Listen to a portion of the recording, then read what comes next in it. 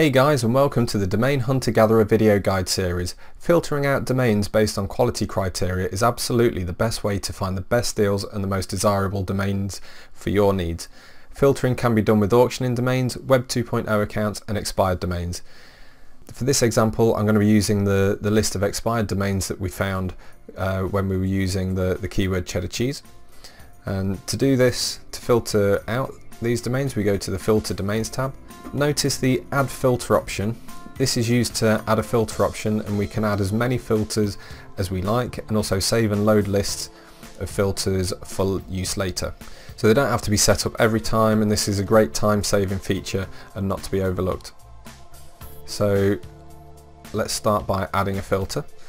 Now you see when you click add filter you get the add filter form and you, you click on the filter type to choose what filter you want to set.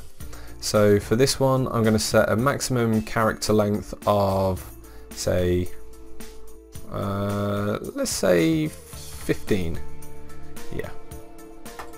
You see straight away from the list of 287 domains we now have 145 domains showing.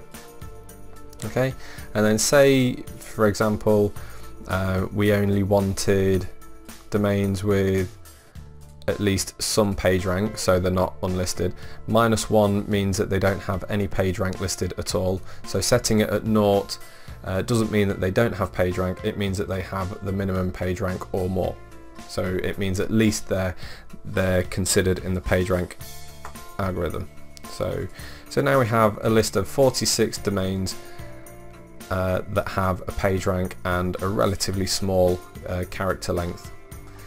Now you may want to remove a selected filter and you can do that simply by selecting and right clicking on any uh, of the filters or you can clear the filter list entirely by doing so.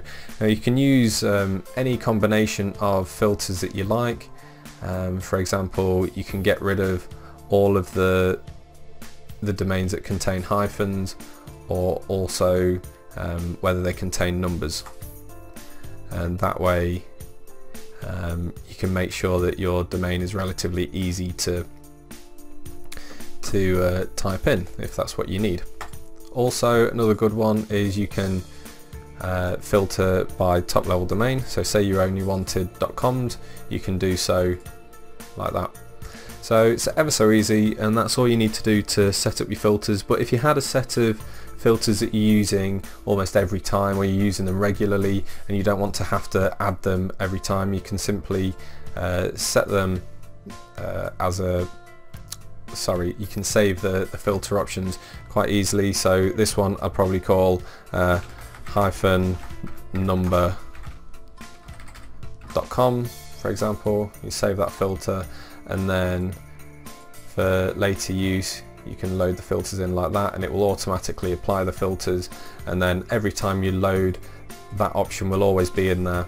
Um, these controls are, are, very much the same as um, the saving and loading controls so if you're not too sure about how to use these by all means go and take a, a look at the saving and loading video guide um, because it's very similar to the saving and loading of domains so if you want to learn more about that you can do from that video.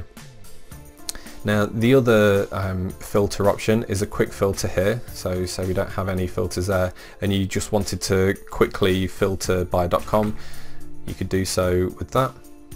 Very easy. Or if you wanted to, from your list of domains, you wanted to get all the ones related to chefs, you could do so like that, and so on. It's really really quite simple. Um, and not a whole lot to it really. So thanks for watching this video. There are others like it for the different tools and controls within Domain Hunter Gatherer.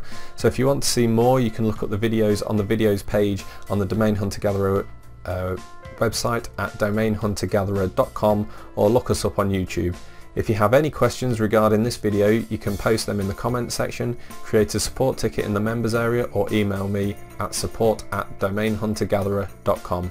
Once again, thanks for watching and have a great day.